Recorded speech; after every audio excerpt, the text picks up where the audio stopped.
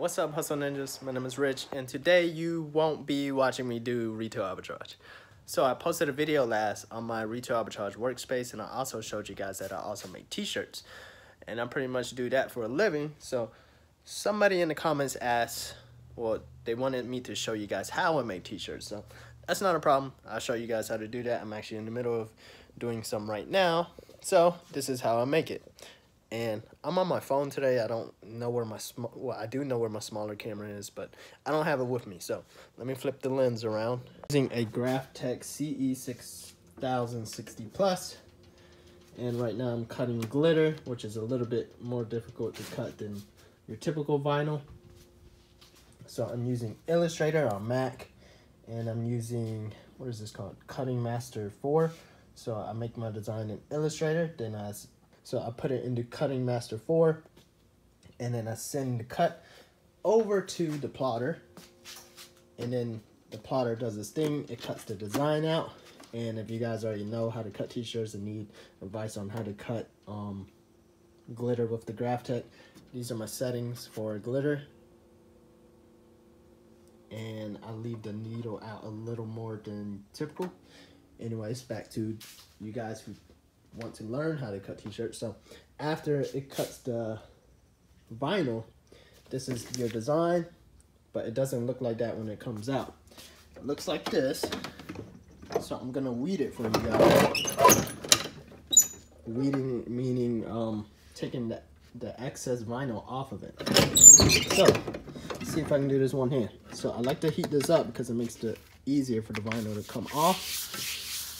This is glitter vinyl. It's a little more difficult than regular vinyl. So what we do is I use tweezers. People use, some people use needles and different things. I like tweezers. Uh, sorry if you guys can't see. So I got a corner off. Let me see, how can I hold this? Hmm. You guys get the gist of that. Let me put the phone down for a second.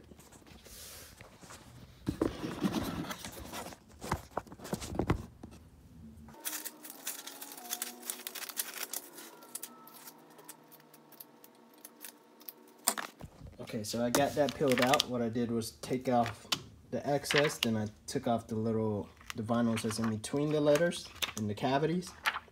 I'm gonna set this to the side. And now we're gonna put it onto a t-shirt, or in this case, a tank top. So what I typically do is I have an extra screen up here that mirrors my computer. That way I can see my orders at all times while I'm using the heat press. Laid out I'm going to press it, pre-press it so we get all the wrinkles out. I know that was hard to see, but I pre-press it so it's flattened out. What we can do is use a lint roller, to take lint out, but the, the tank itself is pretty clean. We take our design and put it on top of the tank. Nice and straight. And we place our cover sheet over it. Bring this back over. Let's see if I can get one hand. I can. So that typically takes between 10 to 15 seconds for that vinyl at 330 degrees Fahrenheit. Different vinyl uh, requires different heat and times.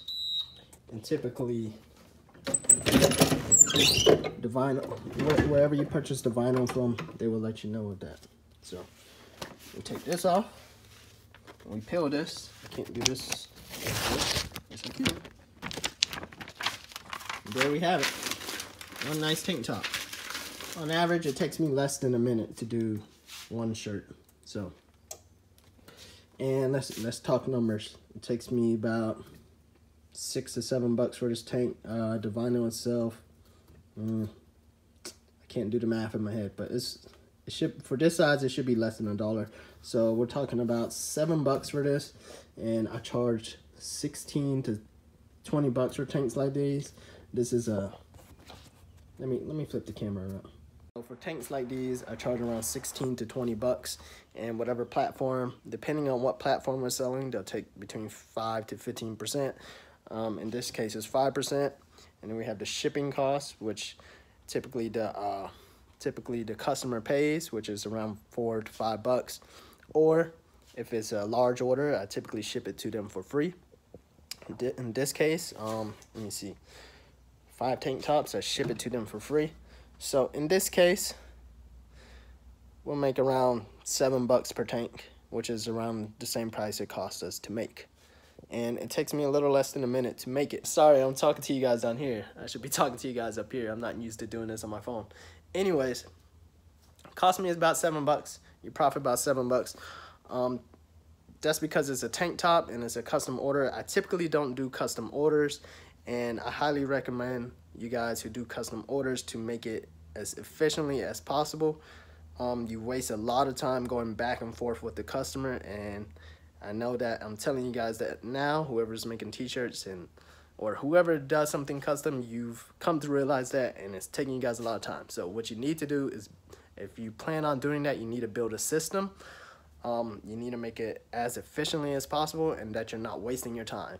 You know, just like Rich Dad Poor Dad said, anybody can make a better burger than McDonald's, but nobody's making a better system than McDonald's, all right? So, same thing. So you need to make a really good system where the customer is satisfied and you're not wasting too much time going back and forth with them if you're doing custom orders. I typically don't like to do custom orders because of that fact. So even though the tanks are $7 cost for $7 profit, t-shirts are typically a whole lot more profitable. A t-shirt usually costs, depending on what kind you use, costs between 2 to $4 and still charge around the same price. So you see a lot higher profit margin with those. Okay, so I got the tanks done. We have one, two, three, four, five. So about seven bucks profit each, which is what, 30 bucks. Took me less than five minutes to do. You can grab a poly mailer. Seven times five, 30 bucks. Yeah. 35? Oh, 35 bucks. I'm sorry.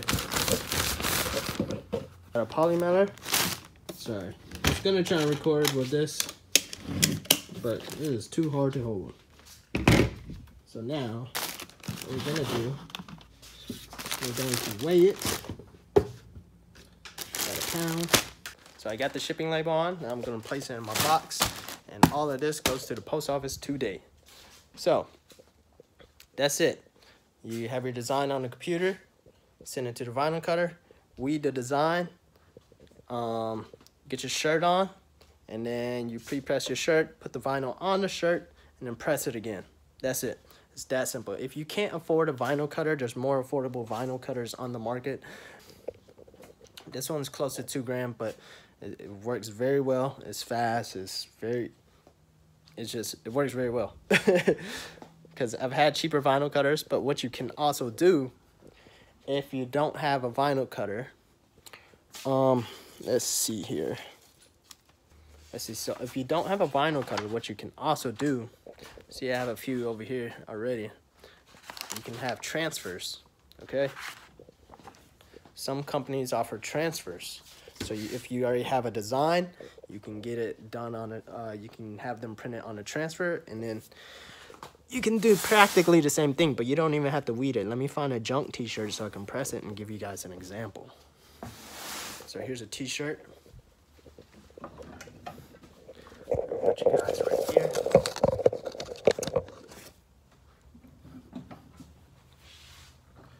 So I'm taking the t-shirt, I'm putting it on the press. Just gonna pre-press it.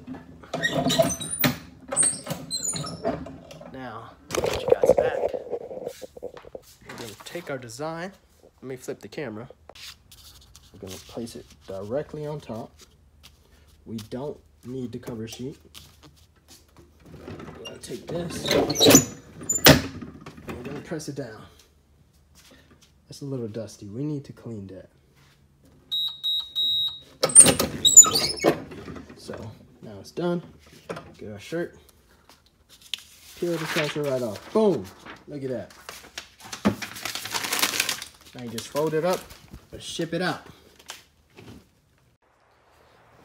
So that's pretty much it. And the transfers are really cheap. Um, there's some websites where you can get it as low as I think 50 cent or something all the way up to five dollars each but it is but it is just one color um most of the shirts i deal with are only one color like I said, I like to deal with ease. That's the reason why I make a decent amount of living making t-shirts because I make things as easy as possible.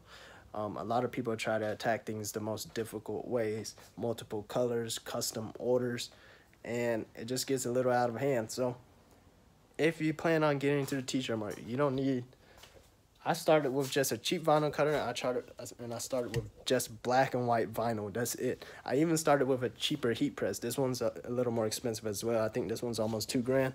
So that's all you need is a, a heat press really just to get started. You can get a cheap one for about 200 bucks, but it won't last you long and it won't give you the best and it won't give you the best results. But but it'll get you some profits as long as you know what you're doing and then you can reinvest that money into something more higher quality.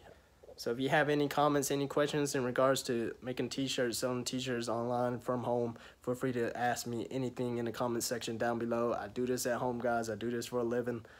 Um, I've done screen printing, I've done direct to garment, and I went straight back to vinyl because it's so easy, so quick, so fast, and it's kind of lucrative because it's an easy business to start off, start up at home. If you have any comments, let me know. If this video helped you out, I hope so. If not, I'm sorry. Peace. Yeah, but I just used that t-shirt we just made to clean the press.